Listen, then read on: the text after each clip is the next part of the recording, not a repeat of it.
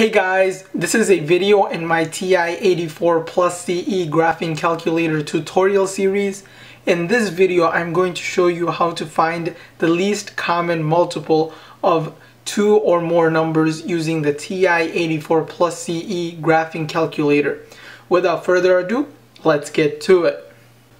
First, press the math button and then this screen comes up use the right arrow to arrow over to the NUM tab and then uh, select the option that says LCM which is number 8 so just press 8 on the number pad and this comes up where we have LCM with the open parentheses so I'm going to type in the two numbers for which I want the least common multiple. So I'm going to try and find the uh, least common multiple for 5 and 7. So I'm, I'm going to type in 5 and then comma 7 and then close the parentheses. So I have this so far. I have LCM 5 comma 7 and then the parenthesis is closed. It doesn't matter if I type in the 5 first or the 7. Either ways, I'll get the same answer. Now all I need to do is press enter and I get the least common multiple as 35. Now it's important to note that the LCM option only lets you find um, the co least common multiple for two numbers at a time. What I mean by that is uh, let's let's try 5, 7, and 8. Let's try and find the multi uh, least common multiple for all three numbers. So what I'm going to do, I'm just since this LCM option is already on the screen, I'm just going to arrow up and press enter to select it and then I'm just going to clear the entries on the inside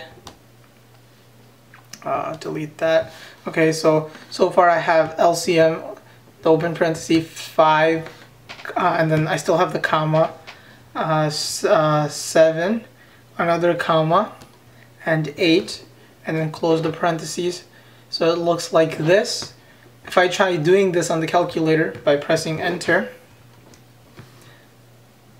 I get an error message. So just press uh, enter to exit the error message. If I want to find uh, the least common multiple for more than uh, three numbers, what I have to do is use um, more than one LCM command.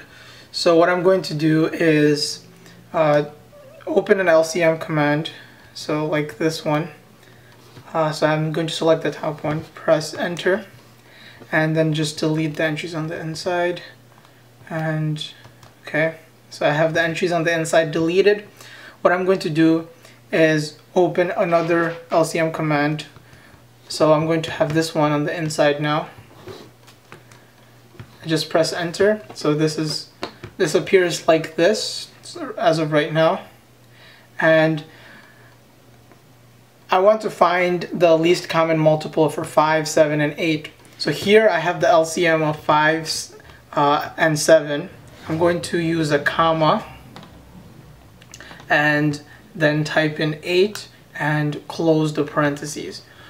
What I have here is effectively two uh, numbers or entries within the LCM command or the outer, outer LCM command. So I'm taking the least common multiple of 5 and 7 and comparing that to 8 to find the least common multiple of all three numbers.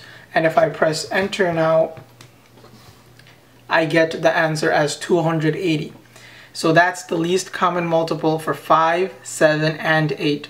So all you have to do is make sure that the commands, the LCM commands don't have more than two entries, or you just make sure that there's only one comma in there. I hope this video helps in some way. As always, if you have any questions, feel free to leave a comment. I'll try my best to help. If you haven't already, please subscribe. Check out other videos on my channel, especially the graphing and scientific calculator tutorial series. Until next time, take care guys.